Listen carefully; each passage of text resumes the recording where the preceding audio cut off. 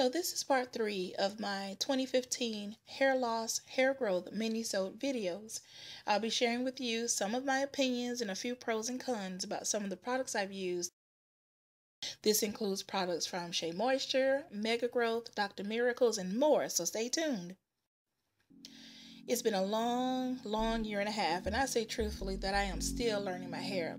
This is my hair from March 2015, which is a part of the journey of when I started seeing not only the regrowth, but also the retention of my hair with the products in this video.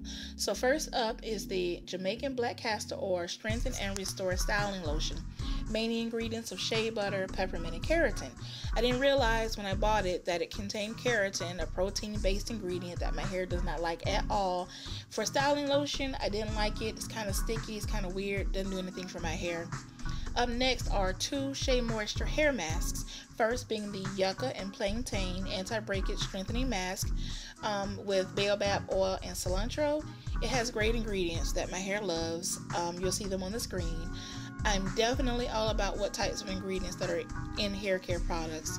Second is the Tahitian Noni and with a Repair Nourishing Hair Mask, which unfortunately also contains keratin. And again, I didn't realize that at the purchase, but it does contain peptides and some botanical extracts to make up for it. But I've only used it a couple of times, but not before blending it with other conditioning products like honey. It helps lessen the effects of the keratin, but that jar is still pretty full. So it's a nay on that particular hair mask. But as for the Yucca and Plantain, it's one of my favorite Shea Moisture hair masks, and it does help strengthen my hair. Now this brings us to the Mega Growth Anti-Breakage Deep Conditioner. It does contain other protein ingredients that are more suited to my type of hair, but it also has some not so favorable ingredients like mineral oil. But honestly, my hair loves everything about Mega Growth products. Now, the Mega Growth Strengthening Cream, it has the correct type of oils and proteins also, um, so that gets a yay.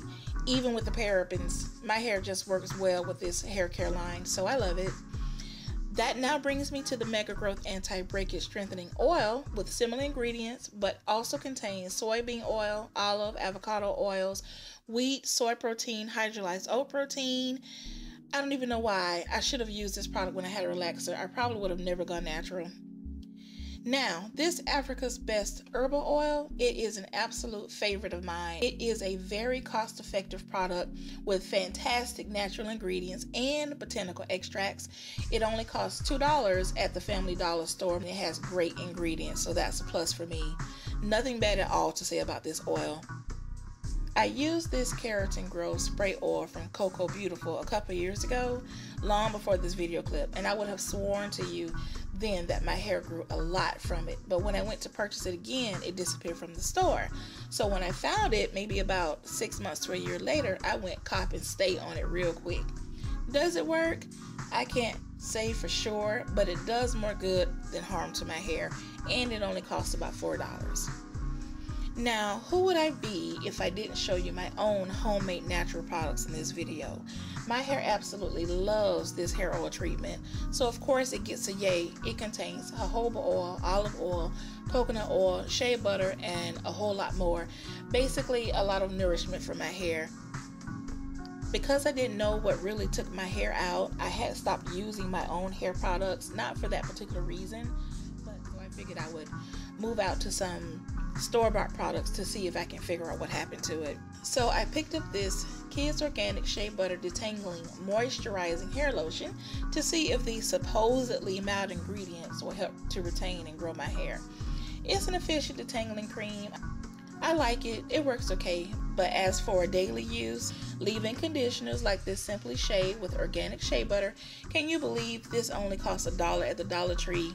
It doesn't work well with a lot of other ingredients, but for a dollar, it does just fine. You already know how I feel about this replenish oil from Mega Growth. It's sitting here because I was about to install some braids. Now, this is the Dr. Miracles Follicle Healer Hydrating Oil. It's a part of the energizing system. It's got some pretty good ingredients, jojoba, olive, castor, avocado oils. It's okay, but I'm not sure if my hair likes it for daily use. But that brings me to the Dr. Miracles Follicle Healer Deep Conditioning Treatment. That absolutely did the trick. It is my absolute favorite can't do without product of all time. This miracle healer helped to begin the regrowth of my hair from my bald spot at the crown area of my scalp. There's something in it that helped me fight against what was causing my scalp irritation. Remember on Minisode 1, I showed you pictures of my bald spot and I mentioned that after my hair initially fell out, it would not grow back for like months. I blamed it on keratin protein overload and then some alopecia like symptoms. Talk about getting depressed and upset. It's one thing for your hair to fall out, it's a whole nother thing when the hair never comes back. Although I did try honey and vinegar with some success, the little hair follicles that came in fell right back out. So my scalp was very sensitive and itchy all the time. So I've been using this product regularly over the last year and a half and I have seen tremendous growth. After each use, I could feel my hair getting thicker at the root, all over my head, even weeks after use. I started out using it every other week and then down to once per month, and now these days only about once every two months. At first, I thought it was just me being mental, but evidence has become clear. Check out the video to see the progress. So, as I mentioned a bit ago, I did have some success with blending honey and apple cider vinegar together. Um, I spray it on my scalp about once per week. I still do this, and trust me, the smell of vinegar goes away. And I know I talk enough about the loads of benefits that apple cider vinegar has, but let me know if you'd like to know more, and I will do a video for you.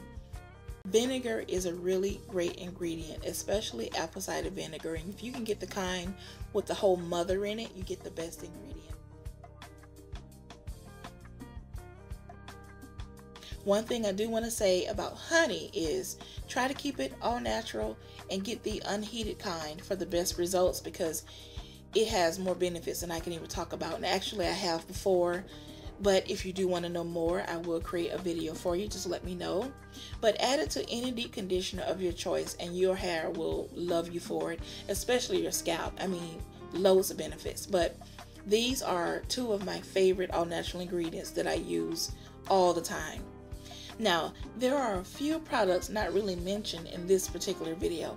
As you can see, I've talked quite a bit, but I do have other ones. Um, I have a lot of videos about some of my favorite products that have helped me retain growth over the years. And don't forget to check out Mini Minisodes 1 and Mini Minisodes 2 to see what else I've been doing for the last year and a half, like what stresses it out for it to break off, and what helps it grow, and also how to maintain the growth. I don't have any clips of my hair growth since May because I've pretty much had it locked into twists or braids and some kind of style like that and I haven't taken any pictures and things like that to show you. But I will come back probably at the start of the year and show you my progression. But lastly I wanted to mention to you that if you aren't aware, I do have my own hair care products line. The store has been closed for some time now, but it will be back open soon. You know, life events, changes in life, different things going on and I wanted to be able to dedicate the most time to it and when I was really ready to get back into it. So I do have some products, especially one that contains honey. But this clip is just showing you little bits and bobs of remaining all natural butters and oils and things like that that I use to make my own products. I'll be uploading a new video soon to show you how to make your own hair butter and maybe a deep conditioner or a hair oil concoction, something like that. If you're interested, then please be sure to subscribe and stay tuned to my channel. And I want to thank you for watching and may everything in your life be blessed and bountiful. Thanks again. Bye.